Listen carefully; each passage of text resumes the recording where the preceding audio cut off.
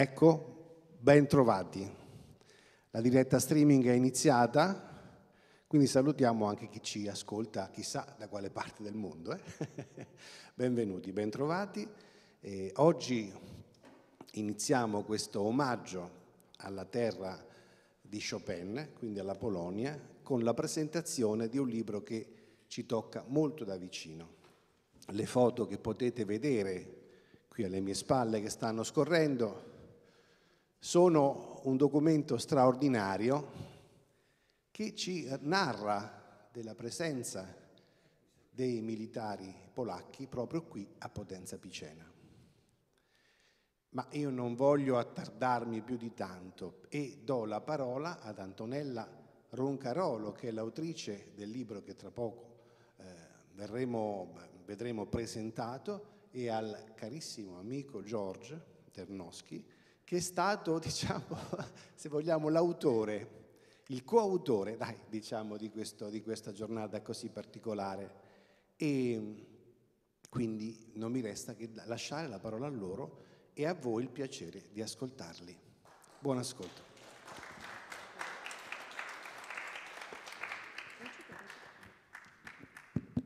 Buonasera, buonasera a tutti. Eh, rubo un attimo la scena a la signora Antonella, giusto per dire due parole, intanto grazie della vostra partecipazione.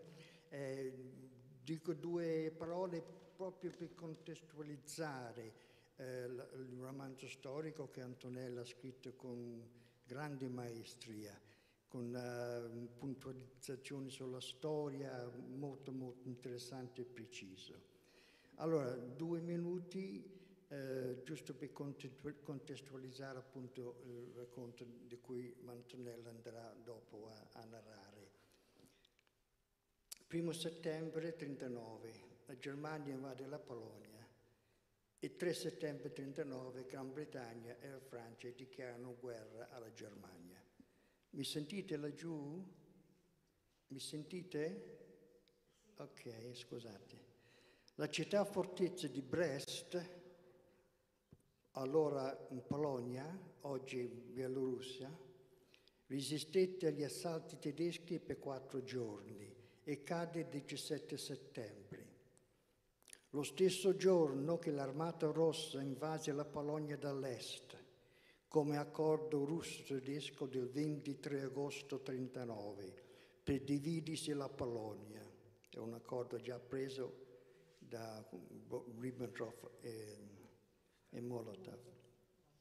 Il 22 settembre l'Armata Rossa prende possesso di Brest, che nel frattempo era occupata dai tedeschi, mentre i tedeschi si ritirano indietro oltre il fiume Bog, lasciando i prigionieri polacchi in, in mano ai russi, tra cui il comandante polacco della fortezza di Brest, il generale Konstantin Prizowski, che fu fucilato tempo dopo insieme a circa 12-15 mila tra ufficiali e civili nella famigerata foresta di Katyn dai soldati russi, mentre migliaia di altri civili e soldati semplici furono mandati in Siberia. Alla fine di settembre del 1939 concluse il conflitto russo-polacco. Chi riuscì tra le truppe polacche fuggirono in Francia per continuare la guerra fino alla caduta della stessa, poi continuare a combattere a fianco della Gran Bretagna, formando il primo corpo d'armata polacca. Altri migliaia di sfortunati furono invece rastrellati dai russi e inviati nei gulag in Siberia. I soldati prigionieri in Siberia nel 1941 furono liberati e inviati insieme a molti civili sopravvissuti e con mezzi di fortuna raggiunsero il Medio Oriente, ora Iran e Iraq, dove sotto la guida dei britannici, dopo due anni, si formò il secondo corpo d'armata polacca, a comando del carismatico generale Anders. Il secondo corpo d'armata polacca spedito in Italia a cavallo tra la fine del 43 e inizio del 44 ha partecipato alla conquista del Monte Cassino, e poi trasferito sulla costa adriatica per combattere la liberazione delle città costiere fino a Bologna, Durante questo periodo le truppe polacche trovarono sì la morte, ma anche, seppure nella tragedia della guerra, sincera amicizia e fratellanza con la popolazione lo- locale. E molti dei soldati polacchi trovarono anche l'amore. Le truppe polacche rimasero in Italia fino, fin, eh, dopo la fine della guerra per circa 18 mesi, fino alla definitiva smobilizzazione che portò alla dispersione degli stessi in tutto il mondo. E qui arriviamo diciamo, al, al racconto di, di, di, Antonella. Ma prima di questo chiedevo se si poteva far partire eh, gentilmente quel uh, inserto video che dura 50 secondi, ecco qua. Questo è quando i tedeschi diede in consegna ai russi la città di Brest il 22 settembre per gli accordi, perché gli accordi Ribbentrop-Molotov prevedeva che i tedeschi non dovevano superare il fiume Bug e Brest si trovava oltre questo fiume che era destinato ai russi. E in questa tragedia di Brest si inserisce la storia che adesso la signora Antonella, Antonella vi verrà diciamo, ad esporre.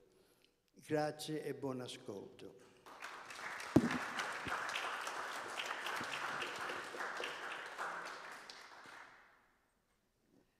Bene, eh, grazie Giorgio e, e, grazie a voi, grazie a Mauro per l'ospitalità.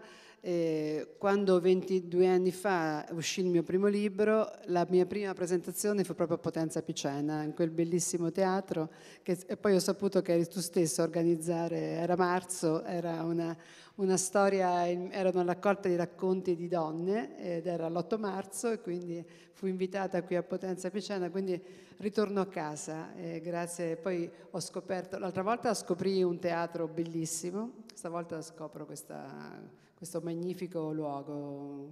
Complimenti, grazie di avermi, di avermi invitata. Ehm, che, che, dire, ehm, Giorgio vi ha letto la storia di quegli anni, una storia poco conosciuta perché in effetti nei libri di storia la storia della Polonia non si, non si racconta, si racconta molto poco. E, e, voi immaginate eh, una, una, uno scrittore, una scrittrice, adesso oggi va di moda il maschile, uno scrittore eh, come me che deve eh, trovare una, una, scenografia per, mettere, per, per eh, mettere, la storia che vuole raccontare. Ora l'avete, l'avete, letto, la città di Brest, che oggi è in Bielorussia, è un'antica città universitaria, assomiglia un po', un po alla, nostra, diciamo, alla nostra Bologna eh, che viene invasa la mattina dai tedeschi, dall'armata tedesca, non potevano farlo negli accordi che c'erano stati solamente 15 giorni prima, dovevano rimanere, dovevano rimanere ad ovest del, del fiume Bug. E, e, il pomeriggio chiaramente arriva l'Armata Rossa e li ricaccia indietro. I prigionieri polacchi dell'esercito, anticipiamo, eh, Brest essendo la città più ad est della Polonia eh, invasa dai tedeschi e quella è l'unica che ha resistito a questa invasione micidiale dei tedeschi con questi panzer. No? Hitler mh, voleva una guerra lampo, quindi pensava in una settimana di, eh, di invadere tutta la Polonia. Quindi Brest resistette per, per quattro giorni all'invasione nazista, ma poi dovette cedere la mattina e il pomeriggio arrivò eh, la, eh, l'Armata Rossa per riprendersi la città di Brest. I soldati polacchi e la popolazione polacca ebbe il destino che ha raccontato Giorgio, quindi qualcuno, molti furono fatti prigionieri e, e poi portati nei, nei, gulag, nei gulag siberiani. Questa è la storia di Brest. Evidentemente io volevo raccontare una storia d'amore, una storia d'amore che parte proprio da queste immagini, perché qui siamo a Potenza Picena, io vivo in provincia di Ascoli Piceno, vivo a Grottamare, a San Vito del Tronto in pratica, e anche lì i polacchi hanno eh, spezzato molti cuori negli ultimi due anni in cui sono stati eh, dal 45 al 47 eh, in provincia, tant'è che ci sono stati quasi più o meno, quelli che ho contato, quasi 200 matrimoni fra soldati polacchi e ragazze, e ragazze del Piceno. Io volevo partire da queste storie perché sono storie bellissime storie veramente da, di grandi amori, anche di grandi passioni, insomma anche ragazze che scappavano di casa, l'abbiamo raccontato, anche Giorgio mi ha detto che sua mamma è scappata di casa con, con il suo grande amore polacco e quindi volevo raccontare una di queste storie. E, e, chiaramente dovevo farla partire dalla Polonia e quale città come, eh, che ha avuto una storia come quella di Brest poteva essere l'ideale, no? perché appunto questo, questo movimento, questo movimento di, di, truppe e il, il, mio protagonista che si chiama Janusz che viene fatto prigioniero. Janusz è sposato con questa mm, bellissima ragazza polacca eh, che si chiama Vida e, e la guerra li divide. Eh, non c'è niente da fare, la guerra è capace di, ha questa capacità di metterci davanti al nostro destino. Ogni scelta che viene fatta in guerra è una scelta che è per la vita poi, perché scegliere di andare in un bivio a destra o a sinistra vuol dire poi la vita, la morte, il tuo futuro. E quindi da, da Brest parte proprio questa storia d'amore fra, queste, fra questa coppia giovanissima eh, lui è un ufficiale polacco, lei è una giovane ragazza che ha un futuro, che, che scusate, ha un passato da orfana, con questo padre inesistente che lei mitizza che sia andato in Russia eh, dietro la rivoluzione bolscevica. E, e, niente, quindi le loro strade si dividono, si divideranno poi eh, diciamo per sempre, perché poi si cercheranno e, e, vedremo poi se alla fine del libro si troveranno, non lo diciamo come va a finire, così, così lasciamo un po' di suspense. In tutto questo eh, Giorgio vi ha raccontato la storia del secondo corpo d'armata polacco che si è mosso quindi dalla, pensate, i soldati polacchi sono i, i polacchi liberati da Stalin su ordine, ordine, dare un ordine a Stalin non era facile, su un accordo fatto con Churchill, eh, quindi hanno liberato i polacchi dai gulag, tranne i 15.000, 12.000, 15.000 soldati ufficiali uccisi poi nelle fosse di Katyn. E pensate che dalla Siberia si sono mossi verso il sud della Russia, poi in Iran, in Iraq, e immaginate come erano ridotti, ci sono delle foto eh, dei campi profughi di questi soldati malati di, di tutto, perché poi noi siamo abituati, eh, scusate ogni tanto cambio argomento, ma le cose sono tantissime. E noi pensiamo sempre alla Siberia come un luogo freddissimo, giustamente, eh, dove le temperature raggiungono normalmente i meno 40 gradi, ma il grande problema della Siberia è l'estate, perché d'estate questo ghiaccio si scioglie e in queste pozze d'acqua eh, crescono insetti di tutti i tipi, la morte per malaria nei, nei, in Siberia è una morte normalissima durante l'estate, per non parlare poi di petecchie e di, altri, di altre bellissime cose che riescono a portarci gli insetti. Quindi molti morivano proprio per questo, per questo motivo. Quindi immaginate gente denutrita che fa tutti quei chilometri, tant'è che eh, il, il, generale Anders, eh, di cui eh, tu hai detto il carismatico generale Anders, è veramente un grandissimo generale, sia un grande generale dal punto di vista strategico, ma anche dal punto di vista umano. E poi racconteremo che quando, quando poi nei due anni che è rimasto in Italia, come si è comportato con i suoi, con i suoi soldati. E chiede chiede a Stalin se si possono spostare verso sud eh, per far stare almeno i soldati al caldo, perché in Russia continuava il, con, con, questi inverni freddissimi, arrivano in Iran, poi in Iraq, si curano, eh, è, è, proprio un esodo, immaginate un esodo biblico, immaginate migliaia e migliaia di persone, donne, bambini che si muovono dalla Siberia verso l'Iran, poi lì verranno, si, si imbarcheranno, andranno a combattere in Libia, poi eh, arriveranno a Monte Cassino sbarcheranno in Puglia nella battaglia di Monte Cassino, che è entrata nelle, tra le battaglie più, più, più, più, famose, più note, più cruente della Seconda Guerra Mondiale, e poi altre meno conosciute, ma sono anch'esse cruente, perché se, se andiamo, chi, chi, conosce la storia, ci sarà andato, sicuramente Giorgio, anch'io, ma anche chi non c'è andato vi invito ad andare, a Loreto c'è il cimitero polacco dove ci sono mille, mille tombe, quindi anche, anche a, nella battaglia di Filottrano per liberare Ancona sono, morte, eh, sono morti mille soldati polacchi. E poi sono, hanno continuato verso nord, hanno liberato Bologna e anche lì c'è il cimitero polacco che si vede dall'autostrada prima di entrare a Bologna e anche lì ci sono un migliaio di morti, quindi una, hanno pagato eh, eh, carissimo, con, con un, dei numeri enormi di, vita, di vite per la nostra libertà, per la loro la nostra libertà, il famoso motto dei soldati polacchi, e poi finita la guerra e sono tornati verso sud e si sono stabiliti nelle Marche in attesa di ritornare in Polonia, perché il patto fra Churchill e Stalin era che poi i soldati polacchi sarebbero tornati in Polonia.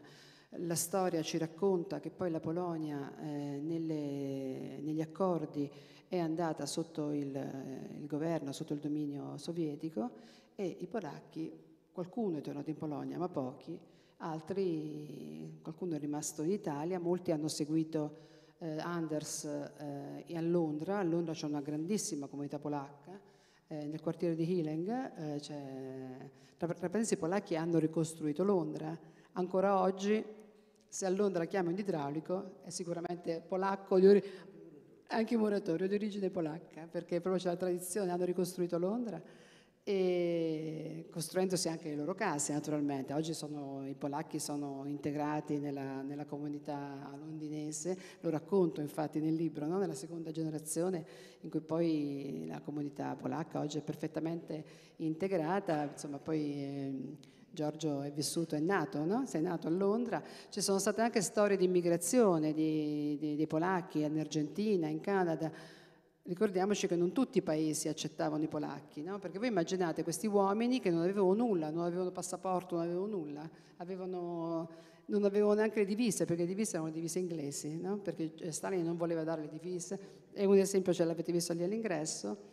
E, ecco, questa è la storia, è la storia diciamo, struggente della Polonia, di cui io mi sono innamorata, che non conoscevo perché a scuola non l'ho studiata, le nuove generazioni di polacchi, oggi c'è la seconda generazione di polacchi in Italia, dopo la caduta del muro moltissime, soprattutto moltissime donne sono arrivate in, in, Italia e anche loro non conoscevano questa storia, non gli è stata raccontata eh, quando, nelle scuole sovietiche e quindi raccontare questa storia è importante proprio per far conoscere il, mm, l'eroismo e non so, cos'altro Giorgio, anche, anche l'umanità dei polacchi. Ad esempio a San Benedetto, quando è uscito questo libro, tutti hanno raccontato delle storie che hanno avuto con i polacchi, perché poi i polacchi, i soldati polacchi venivano ospitati nelle famiglie, penso che qui da voi. E io ho ritrovato un documento in cui c'è proprio un tariffario, quindi camera singola, camera singola con pranzo, camera doppia.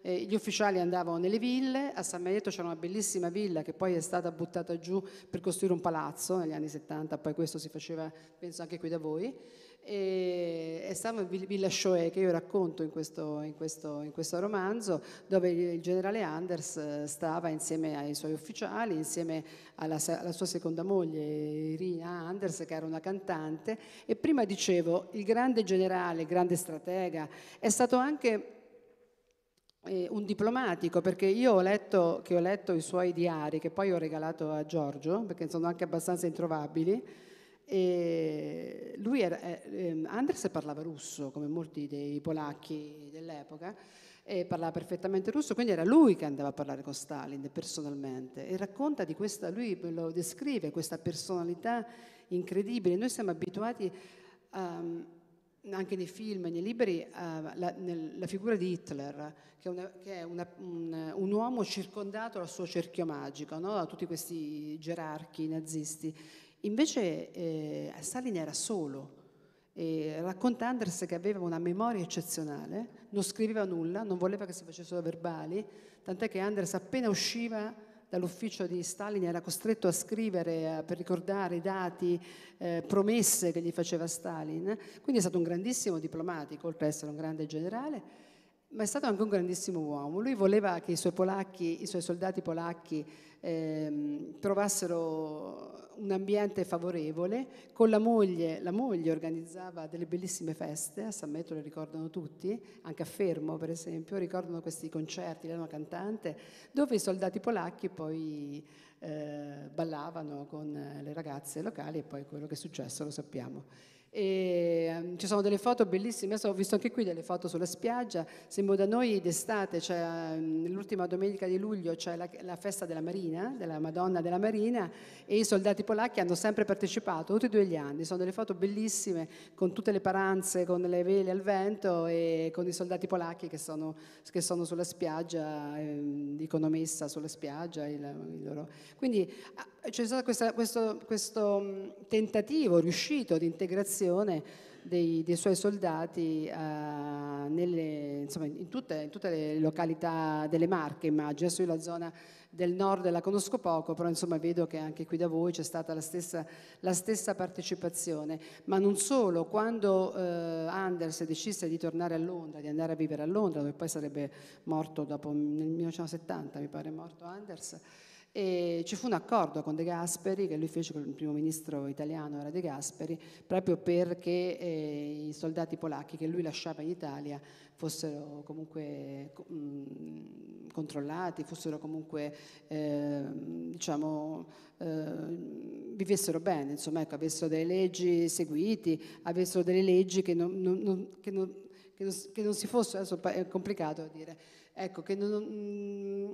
Eh, che fossero eh, considerati dei veri dei, dei, soldati, dei, soldati, italiani. Ho scoperto tantissime cose cercando di, di, di, così, di, fare ricerca. Ad esempio ho scoperto che le donne, insomma magari me lo, puoi confermare, le donne che, spo, eh, che, sposavano un soldato polacco, poiché loro non avevano passaporto, quindi erano apolidi, nel, ehm, nel sistema nel, di famiglia che c'era, all'epoca, le donne anche loro perdevano la cittadinanza italiana. Quindi pensate il coraggio, ho fatto l'anno scorso, a marzo, ho fatto una, una serata proprio per le donne e diciamo anche il coraggio di queste ragazze italiane che hanno sposato questi, questi soldati perdendo addirittura la cittadinanza italiana, quindi anche loro delle, diventavano delle apolidi.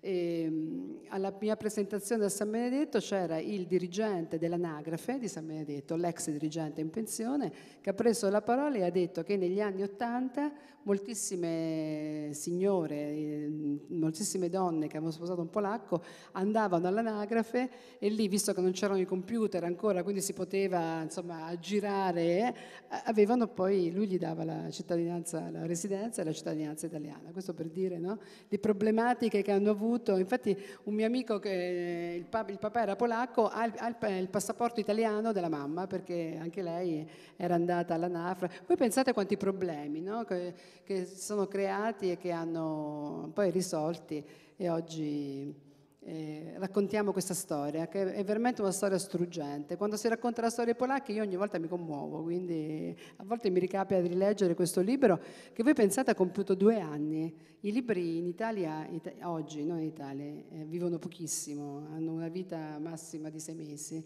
Invece questo libro ha due anni, anche grazie a Giorgio e a, alle comunità polacche che me l'hanno eh, che hanno apprezzato, sono stata a presentarlo anche a Cracovia, all'Istituto Italiano di Cultura a Cracovia.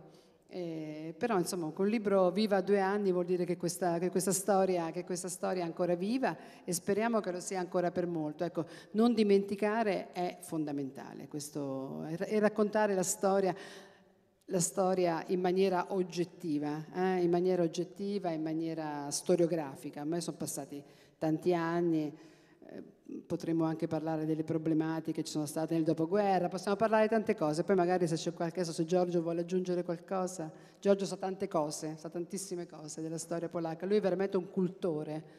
Eh, della... Se ti avessi conosciuto prima avrei fatto molta meno fatica a scrivere questo libro.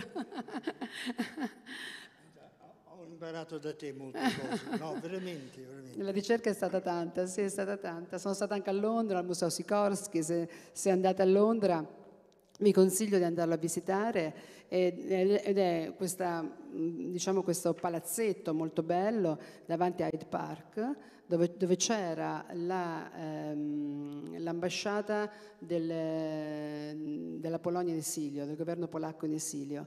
E quando poi eh, la Polonia è diventata uno Stato a tutti gli effetti sotto il controllo sovietico, l'hanno spostata la, la, l'ambasciata ed è nella zona di Marylebone dove c'è, dove c'è l'ambasciata polacca. E questo sono stati abili, sono stati bravi lì polacchi a Londra.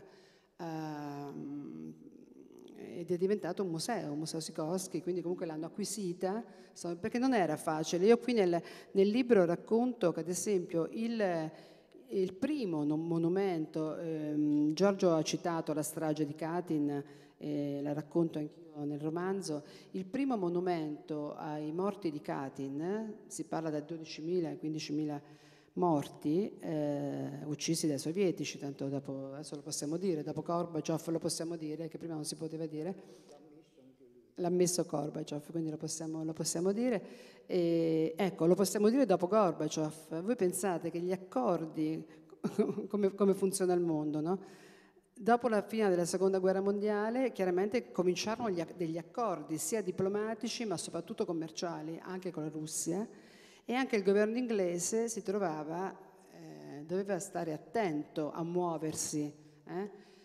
la Russia non ha mai ammesso la strategia di Katyn e quindi questo, il monumento a Katyn non riusciva a essere, a essere, fatto e fu fatto alla fine degli anni 70. Voi pensate, 30 anni prima di costruire un monumento a una strage di, di, di polacchi. Lì Stalin fu veramente si dimostrò per quello che, che, poi sarebbe stato con le purghe successive, decise proprio di decapitare eh, la, la, testa, la, testa, polacca. Furono uccisi a Katyn eh, i vertici dell'esercito, quindi ufficiali, colonnelli, generali, i vertici delle università, i vertici della, de, della, scienziati, i vertici amministrativi, quindi gli alti burocrati di Polonia, con il suo motto diceva la Polonia non esiste. Quindi la Polonia per me non esiste, fu infatti eh, divisa, separata in due da quell'accordo terribile fra Ribbentrop e Molotov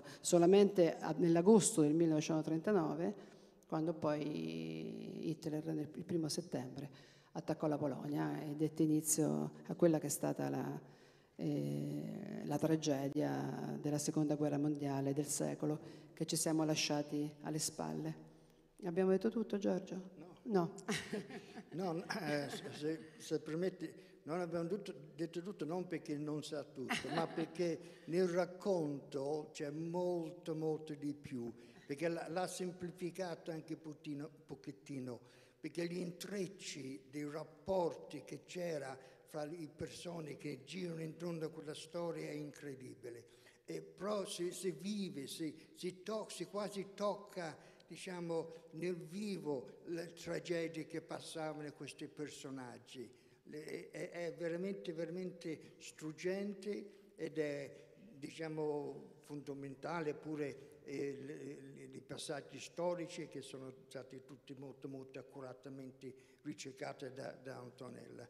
Io, prima di dilungarmi, volevo dire che vorrei lasciare spazio a, a, alle domande, eh, per cui non so quanto tempo abbiamo ancora. Eh, brevemente, allora, senza vo- vo- volervi annoiare troppo, mia mamma, come ha accennato Antonella, io sono nato in Inghilterra, però di mamma italiana, di Civano Marche, e di papà polacco, del secondo corpo. Si sposarono nel 1946. Allora mi racconta, babbo non mi ha raccontato niente, non so niente da parte sua.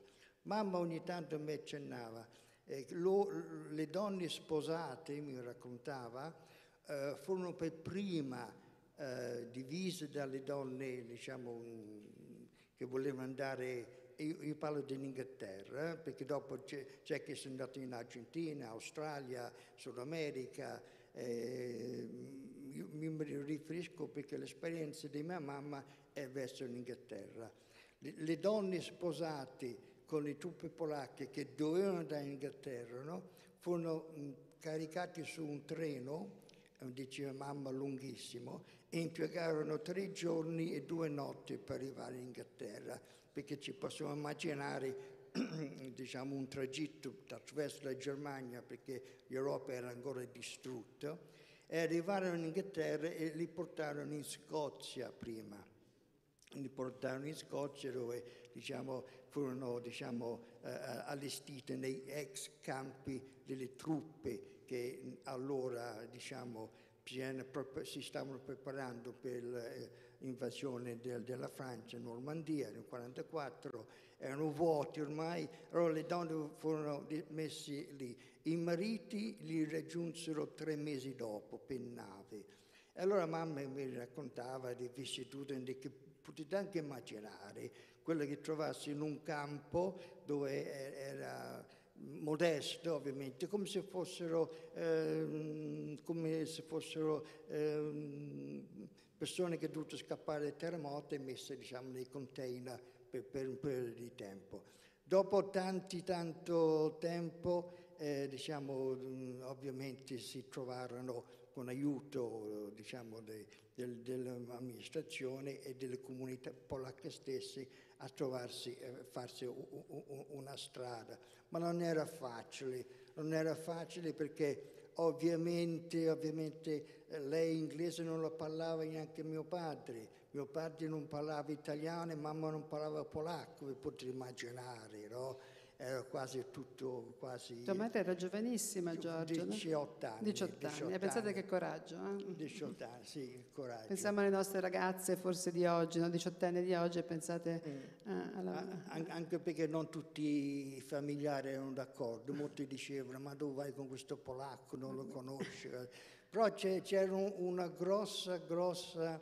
Ehm, Ehm, diciamo, eh, virtù che legava la comunità polacca con quella italiana. Quelle erano le religioni, erano cattolici, ma cattolici ferventi. E questo conquistò veramente l'animo e il cuore de, della popolazione di allora. Allora dicevano, se sono cattolici sono persone bravi. E, e veramente questo ha legato moltissimo tra, tra, tra le comunità. E, beh, queste erano le vicissitudini diciamo, di, di, di, mia mamma e mio padre.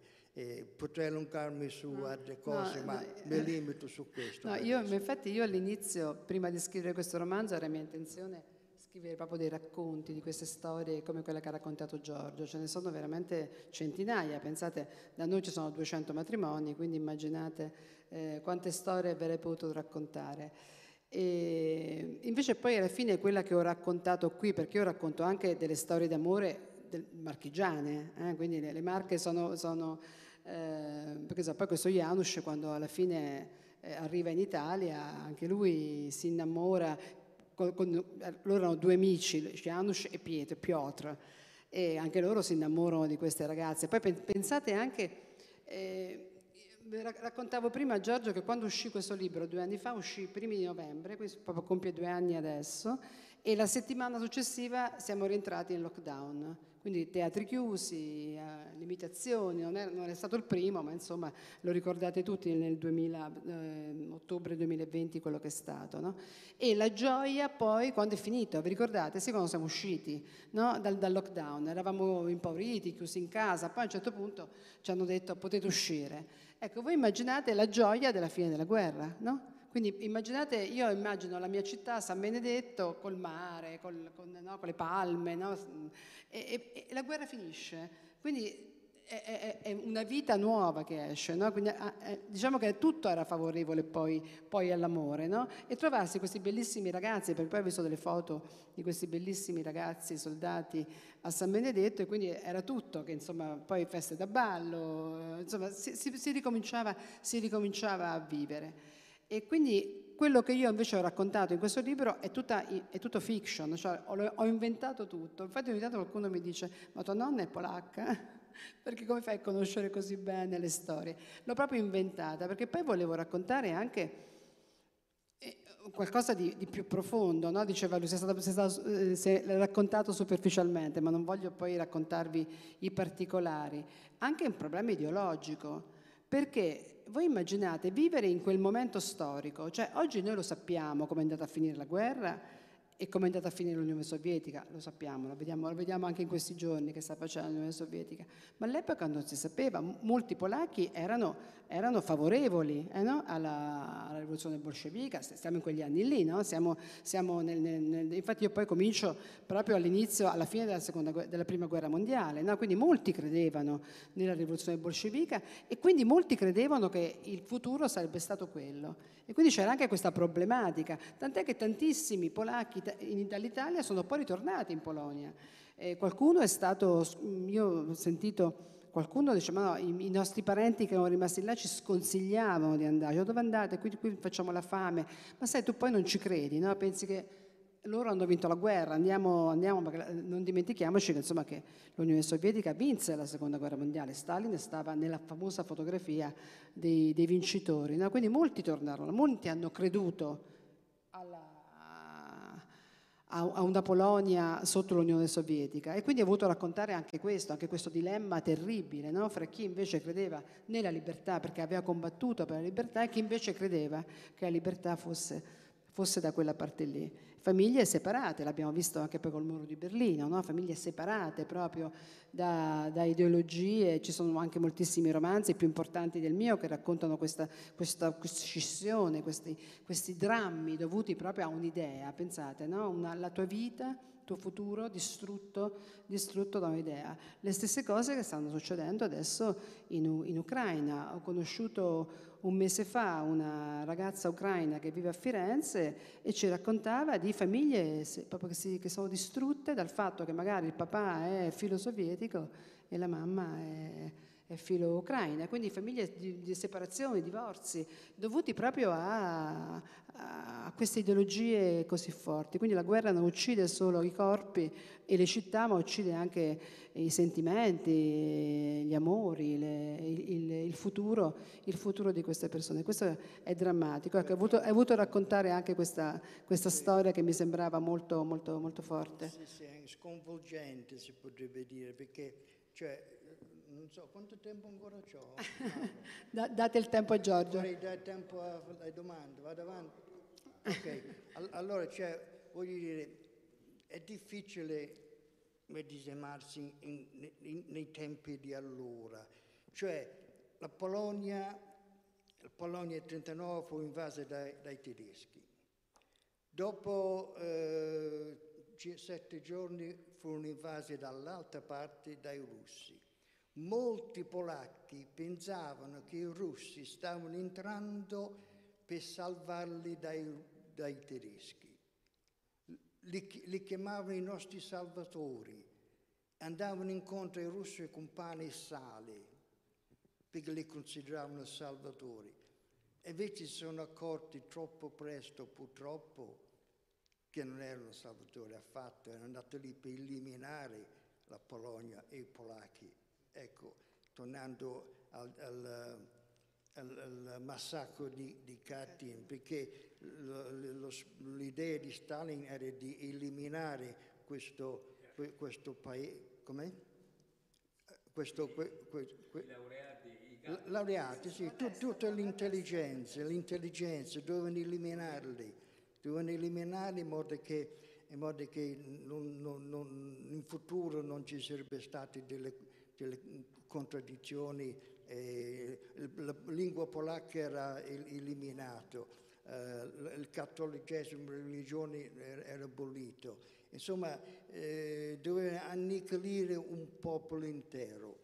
E allora i, i polacchi si sono trovati traditi, traditi prima si potrebbe dire avevano un patto di amicizia con la Francia e la Gran Bretagna dove se fossero stati attaccati sarebbe andato loro il soccorso, non sono andati al loro soccorso. La Gran Bretagna è troppo distante. La Francia ha fatto un tentativo, ha, ha, ha occupato un 10 km di territorio russo, eh, tedesco, Uh, al, ma poi si sono ritirati dietro le linee Maginot detto basta così, dice è sufficiente, sperando che la guerra non continuasse.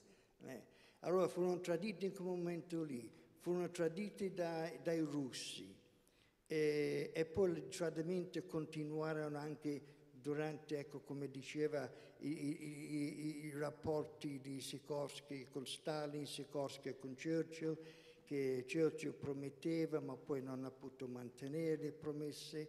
E, la delusione, la delusione di questo generale che doveva spiegare ai, suoi uomini che purtroppo hanno combattuto per la libertà, ma la libertà loro non l'avevano mai avuto e la, la libertà invece l'hanno eh, conquistato per gli altri. E la delusione è tremenda. E la forza che General Anders aveva come come persone carismatiche è stata quella di mantenere i soldati in ordine, perché ve lo immaginate che questi per 3 o 4 anni combattevano a fianco degli alleati, credendo che poi avrebbe liberato Polonia. Lo credevano e General Anders, come tutti gli ufficiali, dovevano ovviamente assicurarle che questo sarebbe venuto. E lui ha dovuto confessare verso la fine eh, della guerra che non era più possibile. E poteva scoppiare un pandemonio, questa era gente armata, questa è gente che eh, hanno visto morire i, i fratelli, i compagni con, l'obiettivo di andare a liberare la Polonia e dopo si sono trovati di, a sentirsi dire no, mi dispiace, non è così. Per cui la forza di Andres è stato anche questo, che è riuscito a mantenere i suoi soldati in ordine perché c'era questa grossa preoccupazione. E poi furono tradite altre volte dai, dai, dai russi. Quando si sollevò eh, Varsavia nell'agosto del 1944, 500.000 della resistenza a Varsavia si sollevarono. Perché si sollevarono?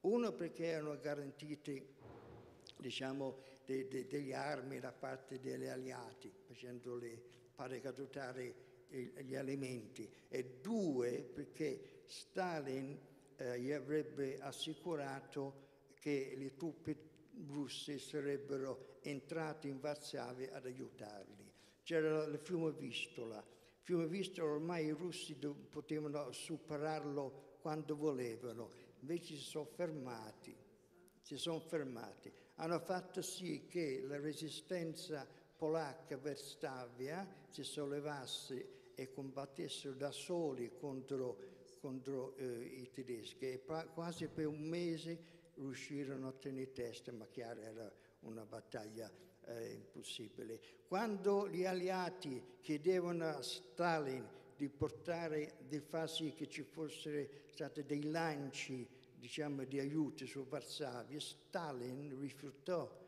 Stalin rifiutò anche che gli aeroplani eh, ehm, eh, potessero andare ad atterrare sugli aeroporti russi perché no, non avevano allora abbastanza per, eh, benzina per fare i voli di ritorno. E quelli che lo fecero, sudafricani, polacchi inglesi, erano voli suicidi perché sapevano che, che non sarebbero tornati.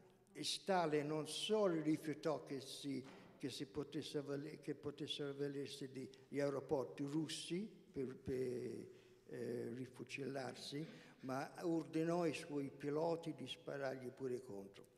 Per cui... Scusami Giorgio, quando, quando, si, quando, si, legge la storia di Stalin veramente siamo di fronte a un genio del male. Io, io, io quando ho letto i diari di Anders, eh, lui stesso era, era, come non affascinato, affascinato è, mm, non è la, parola giusta, eh, aveva questa fascinazione di quest'uomo che riusciva a ragionare in quella maniera senza nessun tipo di umanità. Mm. E, e, e, noi, lo, noi lo, lo, vediamo oggi nella storia, anche nella storia soltanto per... Io, io quest'estate ho partecipato a un incontro sul, sull'Ucraina proprio, adesso ormai sono diventata l'esperta, l'esperta di, di, di, questioni dell'Est sull'Ucraina, l'Ucraina ha avuto la stessa storia poi, no? perché poi cioè, eh, pensate che più di 10.000 ucraini eh, durante la, nel 1938 eh, quando ehm, Hitler invase la Polonia, più di 10.000 ucraini entrarono nell'esercito tedesco sì. perché Stalin li aveva affamati.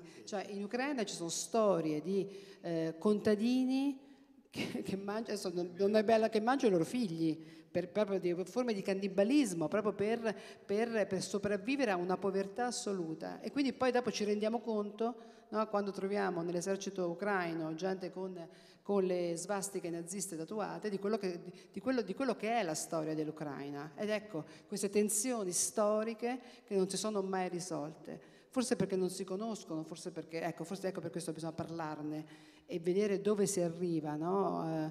eh, provocando l'odio. Una, la, la, figura di Stalin è una figura veramente, veramente inquietante, inquietante. E, quando, e, quando, i polacchi ne parlano, ecco, questo Giorgio vi fa, vi fa vedere come, come, come, quello che hanno sofferto eh, sotto questa... Poi dopo sono cominciate le purghe, addirittura addirittura all'interno della Russia. Non dimentichiamoci che sono morti più russi che ebrei durante la seconda guerra mondiale, cioè Stalin ha fatto morire anche i suoi soldati no? in queste battaglie senza nessun tipo di strategia, niente. Quindi è veramente una storia da conoscere, da conoscere. Poi la storia finale forse la conosciamo, la conosciamo un po' meglio.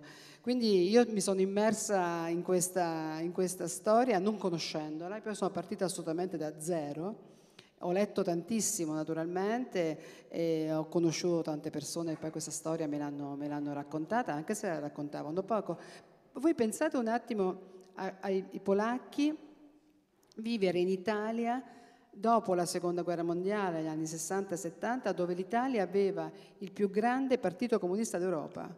Eh? Questa è stata, è stata veramente, lo stesso Togliatti spesse volte dovete intervenire perché c'era una sorta di, di, di rancore, no? e loro che si chiedevano ma come fate a votare Partito Comunista quando chiaramente poi la storia è molto più complessa, no? è, molto. È molto. però questa era, no? ecco perché non parlavano, ecco perché il papà di Giorgio non raccontava e non raccontava nessuno molti figli di polacchi che hanno letto il mio romanzo mi dicevano ma pensa quante cose papà poteva raccontarmi e non mi ha, non mi ha raccontato. Non parlavano, avevano anche, avevano anche, paura. Ma la stessa cosa in, Germania, in Francia, eh, perché anche in Francia hanno avuto un, un, forte partito e che loro non riuscivano a, a capire proprio, no? cioè perché devono... Infatti io, io ricordo quando ero eh, più giovane naturalmente, eh, fu, fu, eletto al soglio pontificio Papa Voitila, no? Papa Giovanni.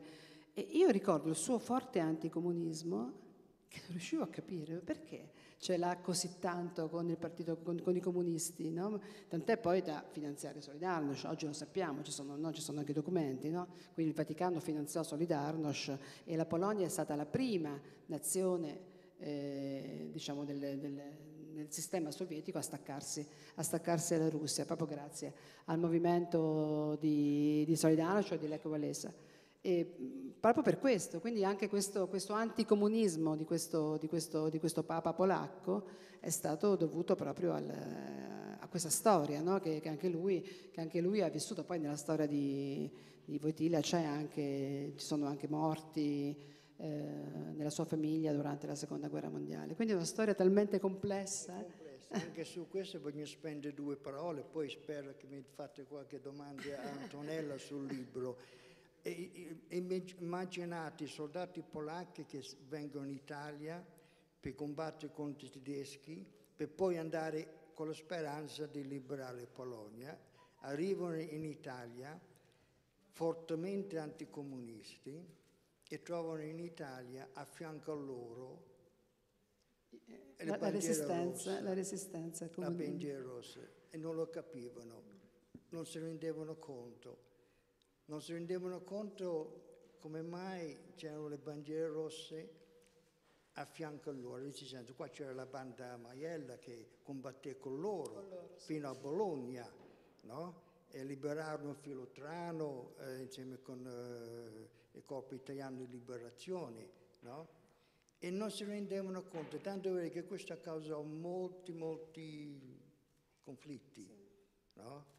Anche soprattutto a Bologna, no? Soprattutto a Bologna, no, soprattutto sì, a Bologna, sì, sì ma anche, anche, da noi. Anche da noi, anche Bologna da racconta, insomma, sì. tanta, io, io, ho letto anche un intervento di Togliatti, un intervento ufficiale sull'unità di Togliatti che cercava no, di calmare gli animi eh, perché se no la, la, guerra sarebbe stata, sì. appunto, la pace sarebbe stata inutile se continuavano, sì, no? Eh? Sì. E quindi per eh, cercare di... effettivamente loro non capivano no? non come capivano. poteva esserci un non partito comunista così forte, così forte in Italia. E non fu facile, insomma, per da, vivere in un paese, anche se poi era un paese libero, un paese che poi ha, ha dato tanto anche a, no, ai, ai, polacchi in Italia, insomma, poi sono tutti integrati, si sono, hanno lavorato, però certo dal punto di vista ideologico è stato punto di vista logico questa è la cosa peggiore che veramente ci può eh, fuorviare da quelli che possono essere i nostri principi. Mm. Comunque nel romanzo ci sono anche delle, delle, belle storie d'amore, vero? Ci sono sì, delle scene, sì. c'è sì, anche l'orso Wojtek. Ah, l'orso eh, Wojtek, che è stato anche Porto Potenza. Che è stato a Porto Potenza. Io, eh, eh, sì, no, non so se lo conoscete questo orso. Eh,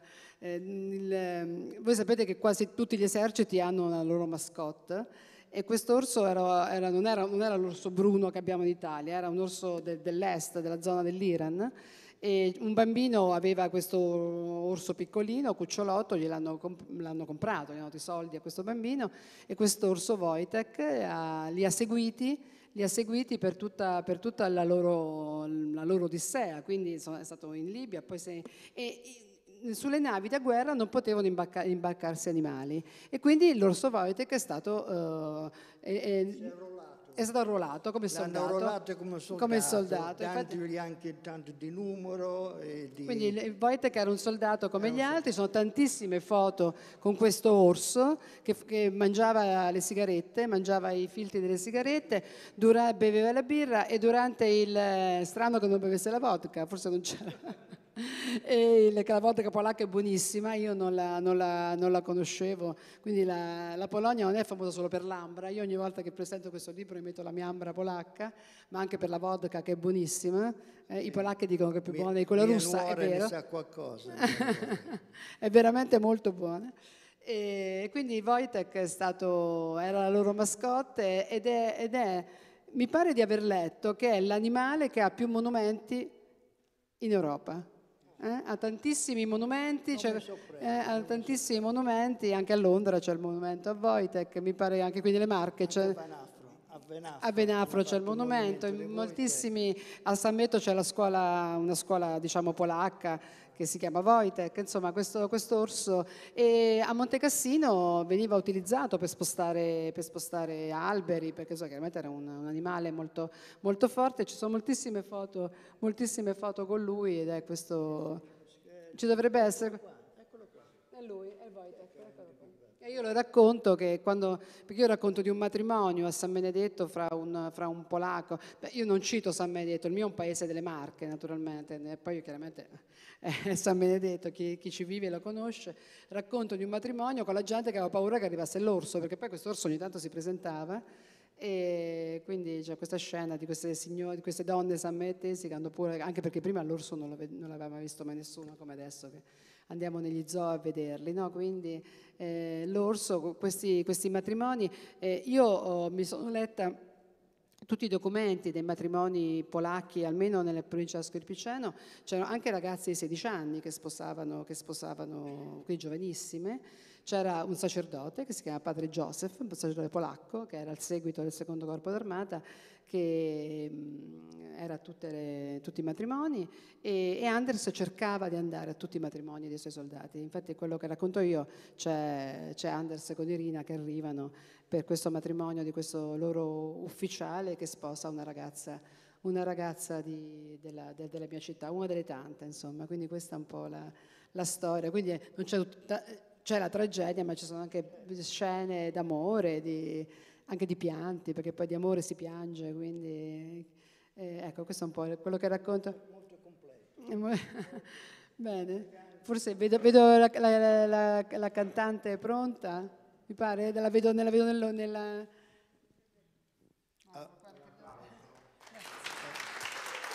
Che c'è? Qualche libro? Hai portato? Se per chi volesse c'è qualche... Qualche libro l'ho portato, sì. Libro... Mi aveva detto di lasciarlo da qualche parte, ma non so dove devo lasciarlo. Va bene, ok. Va bene, ok, va bene. Adesso vi là, cosa vuole... Ecco. Sì.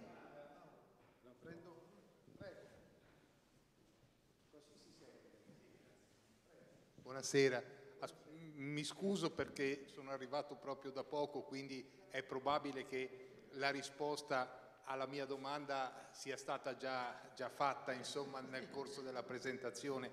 Io sono curioso mh, di sapere se è possibile spendere una parola bene, a proposito del sogno di libertà dell'esercito polacco che è arrivato in Italia che sicuramente ha combattuto per la liberazione dell'Italia, ma il sogno era quello poi di arrivare alla Polonia e avere finalmente la propria terra libera.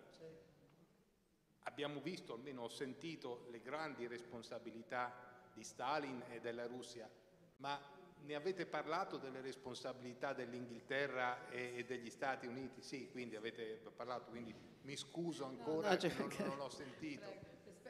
Grazie. No, no, Grazie no, no ma, ma, giustamente io ho fatto accenno ai, ai, tradimenti da parte anche di Churchill, delle promesse che lui ha fatto alle truppe polacche che non ha mantenuto. Certamente, cioè non c'è mai nero e bianco, tutto chiaro scuro. Cioè la storia, diciamo, la, la, c'è sempre il realpolitica, no? dove, dove, per motivi di... Ideologici, poi, ideologici. No? Sì, sì, ma, anche, ma, anche, di convenienze, no? di convenienze, di paure, di... Eh, sì, sì, ma il, infatti diciamo che la spinta eh, che Anders ha dato ai suoi soldati era proprio quella, cioè loro si sono mossi per quello era proprio questo, questo sogno di libertà, no? e, che ha, infatti io, io poi riporto eh, nel libro alla fine proprio la, frase che è nel cimitero di Montecassino, no? che, mi, che, mia nonna mi ripeteva, è caduto? No, no, lascia, lascia. che mia nonna mi ripeteva sempre, che a me ancora, ancora mi commuove, no? noi soldati della Polonia abbiamo lasciato eh, in, Ita- no? in Italia i corpi. Sì, sì. Mm il cuore in Polonia, eh, quindi questo grande sogno di libertà che loro avevano e che è stato tradito, non sappiamo quanto sia stato fatto razionalmente, anzi è stato fatto razionalmente, cioè alla fine gli accordi di Yalta sono stati quelli. Eh, Stalin si è imposto sulla Polonia. Eh, sappiamo che anche l'Italia no, ha avuto i suoi accordi, beh, noi la guerra l'avevamo persa, non è che avevamo tanti diritti, però insomma ci hanno dato l'Alto Adige e ci hanno tolto eh, l'Istria, ad esempio. No? Quanti italiani sono vissuti in Istria? E io ho una mia amica che è di, che è di Gorizia e che lei ricorda piccolina eh, con i genitori che avevano la valigia o di qua o di là dalla, dalla ferrovia, se stare in Jugoslavia o se, stare, o se andare in Italia. Loro scelsero l'Italia ma ad esempio la mamma andò, rimase invece in, in Jugoslavia, anche qui una specie de, del mio libro, no? lei per motivi ideologici preferì rimanere in Jugoslavia e lei bambina fu adottata da questa famiglia, da questa famiglia italiana, cioè anche noi abbiamo avuto la nostra, la nostra, la, le, le, nostre scelte. E quando si fanno gli accordi di fine guerra, è, è sempre, non, non dimentichiamoci mai che l'Unione Sovietica è stata fra i vincitori sul tavolo dei vincitori, quindi hanno, hanno avuto grossa, un grosso peso agli altri. Non sappiamo quanto Churchill abbia insistito, poteva insistere, poteva, aveva, carte, aveva un qualche asso da giocare. Possiamo dilungarci su questo, però volevo dire due aneddoti su Churchill. No? A Churchill gli fu chiesto che cosa eh, resterà di lei nella storia, no? Che cosa ne penseranno di lei nella storia? Ha detto di me parleranno solo che bene perché l'ho scritto io. Perché l'ho scritto io. L'ha scritta, io, l'ha scritta lui la storia. Ecco Beh, vinse anche il Nobel ecco, per la letteratura, ecco no? Perché ne farà certo. solo che bene. E, e poi, eh, poi, lui era contrario al, al tribunale di Nuremberg, no? dove furono processati i tedeschi, ma per motivo per lui semplice. Disse, speriamo l'eventualità di un'altra guerra che lo, vinci, che lo possiamo vincere. Se no processano noi. Se no processiamo anche noi.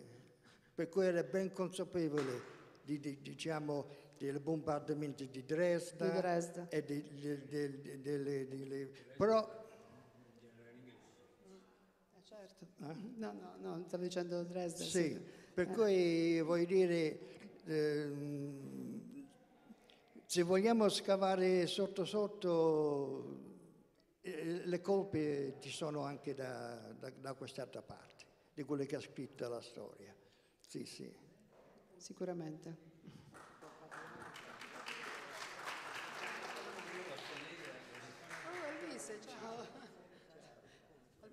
No, L'ultima domanda. Ultima domanda, prego, ultima domanda.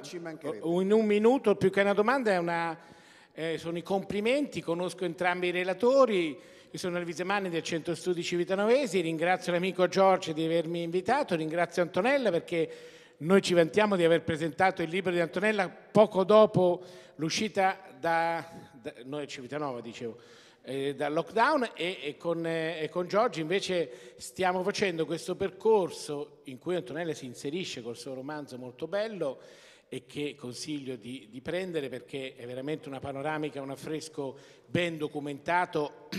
Poi è stato tradotto anche in polacco, mi sembra adesso. Sì, sì, ecco, quindi ormai lo conoscono eh, in lingua anche in Polonia, perché ecco, è doveroso, come recentemente ho anche detto a una manifestazione a Roma, questa riconoscenza, perché i soldati polacchi traditi e, e, hanno dato la vita, più della vita uno cosa può dare? Insomma, è, hanno dato l'anima a Dio, il cuore alla Polonia, il corpo all'Italia, però hanno combattuto anche quando avevano forse intravisto che la Polonia sarebbe rimasta lontana dai loro cuori, quindi dobbiamo noi marchigiani, noi italiani, essere riconoscenti perché per troppi anni, per motivi come accennava Giorgio di Realpolitik si è nascosto coscientemente la storia in Italia, appunto col partito comunista più importante d'Europa, e i polacchi sono stati cancellati. Quindi capisco eh, la, la, delusione di persone che avevano dato tutto e che non potevano neanche parlare perché non sarebbero stati creduti. Grazie a voi, grazie. Bene.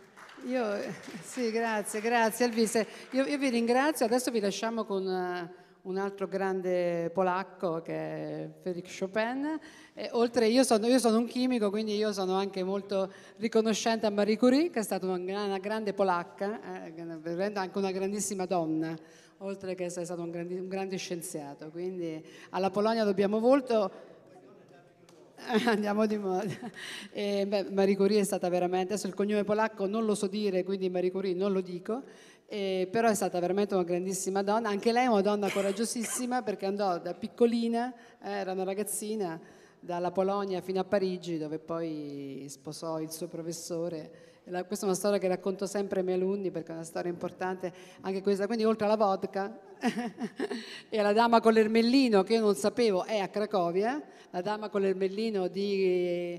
Eh, quindi appena magari i venti di guerra si, un po' si attenueranno vi consiglio di andare a Cracovia, che è una città che ho amato in maniera, è una città stupenda.